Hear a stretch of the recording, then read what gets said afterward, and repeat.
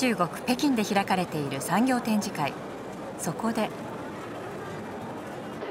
ありました。新型コロナのワクチンを開発中のシノバックなどのブースです。人が集まっています。やはり関心が高いようで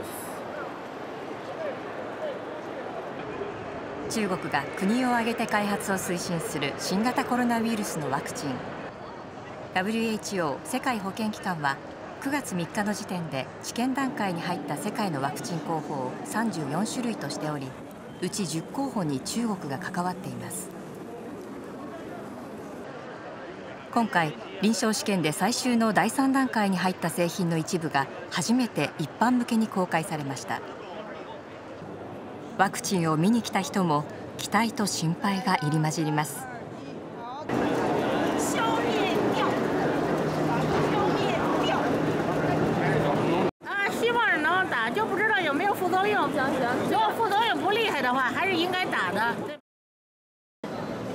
中国政府は7月医療関係者など感染リスクが高い対象者についてワクチンの緊急使用を許可。バイオ医薬品のシノバックバイオテックのワクチンもその一つ。経営トップのイン CEO は我们反响出奇的好，就是大家很热烈，还有很多的公众也来了，他们拿着疫苗就希望能够尽快接种上疫苗。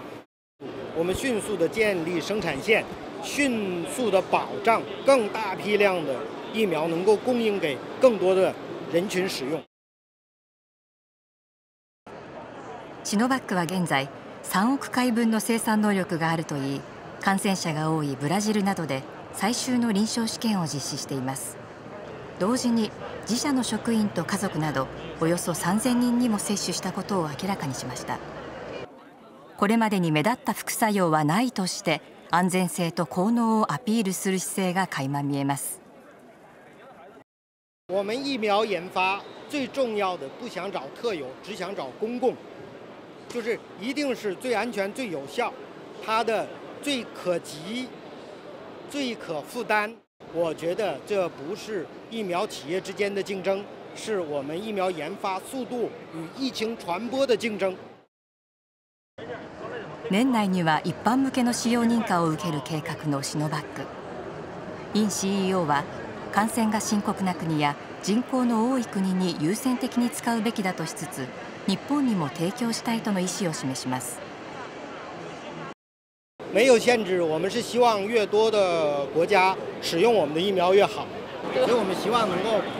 能够帮助，能够帮忙，因为日本跟中国太近了，我们都很喜欢。一方シノバックと同様臨床試験で最終段階に入ったのがシノファーム傘下の中国生物技術。中国政府が管理する国有企業です。こちらも年内の一般向け使用認可を受ける計画ですが年間の生産能力を最大で10億回分に引き上げたいとしています。我们国家的多个部门对新冠灭活疫苗的研发是高度重视和支持的。给了我们资金的支持，给了国家的各方面的支持和条件。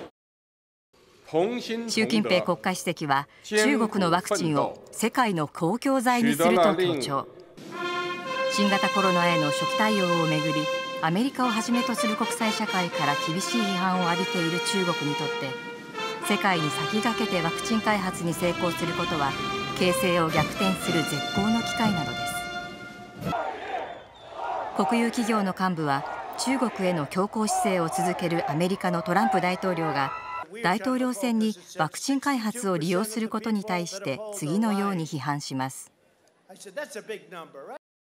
中国的疫苗的研发，首先考虑的不是选票，而是疫苗的安全有效，而不像有些国家，有些国家他要选举，他要抢选票，他为了早先上市，可能考虑的是选票，是政治，而不是他安全有效。